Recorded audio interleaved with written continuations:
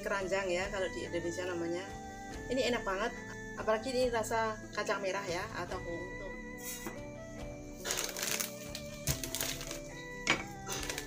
Halo Assalamualaikum warahmatullahi wabarakatuh. Jumpa lagi di video saya di channel Nyonya Robert.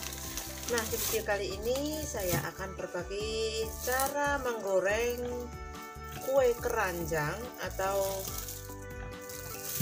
nien kao ini namanya kalau di Indonesia itu kue keranjang pasti ada di hari lebaran Imlek ya. Nah ini sudah saya masak separuh karena waktu itu buat sembahyangan juga. Kebetulan di sini ada rasa eh, kacang merah. Jadi di di sini itu ada macam-macam ya. Ada yang rasa lengkeng kering ada yang kacang merah ada juga yang original hanya pak. Pakai gula merah Nah ini biasanya kalau di sini itu digorengnya itu hanya pakai telur dilumuri kayak pakai telur gitu. Tapi itu menjadi kalau sudah matang itu menempel jadi satu dan kalau sudah dingin itu baunya amis karena ada telurnya ya. Nah ini saya akan menggoreng bagaimana caranya biar nggak menempel jadi satu dan dan tidak bau telur amisnya telur.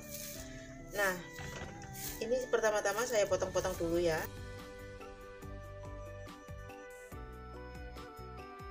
Nah, karena ini kesukaan orang tua ya, biasanya nian kao ini ini terbuat dari tepung ketan dan gula, juga kacang merah.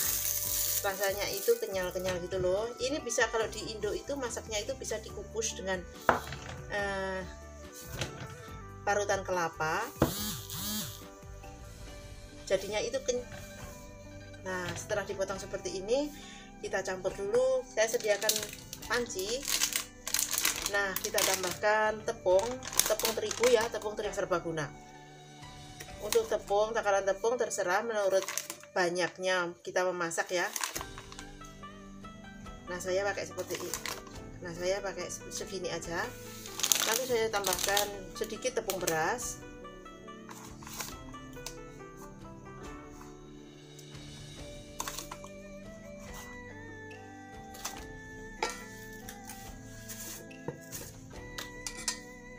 Saya tambahkan gula pasir.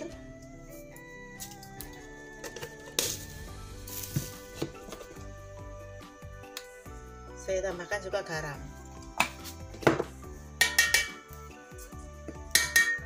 Kita tambahkan air. Nah ini tambahkan air secukupnya juga ya pelan-pelan sambil diaduk. Nah ini seperti membuat adonan pisang goreng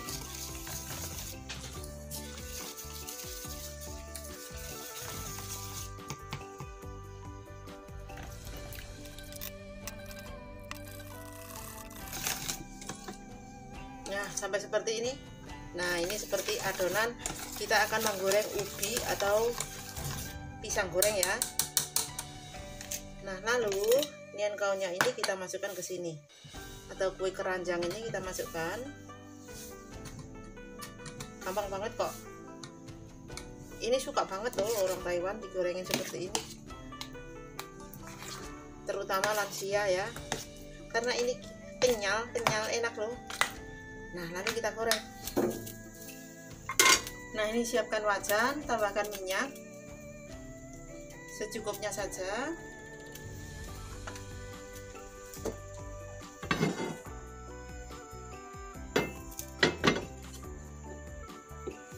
Nah setelah minyak panas kita boleh masukkan nian kao atau kue keranjangnya.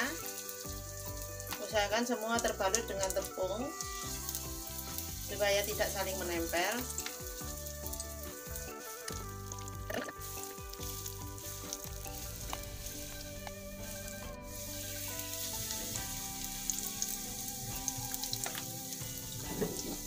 Nah ini kita goreng sampai kuningan ya kulitnya. Dan dalamnya itu empuk kan dalamnya itu keras. Soalnya saya taruh kulkas. Dalamnya itu keras dan kita goreng sampai dalamnya itu empuk dan ini digoreng api sedang saja karena ini eh, dalamnya itu manis. Kalau apinya besar itu mudah gosong ya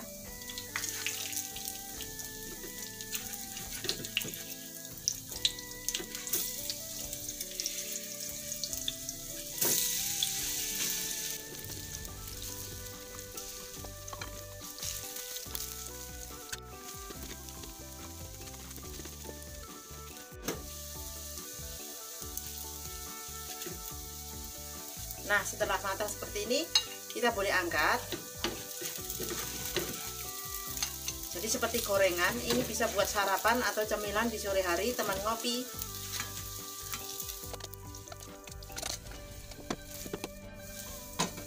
Nah kita lanjut menggoreng gorengan yang kedua. Inilah hasilnya cantik banget. Dan tidak saling menempel. Jadi meskipun dingin tidak bau amis karena telur ya nah ini sudah jadi. Terima kasih yang sudah menyimak video ini. Hingga selesai semoga bermanfaat.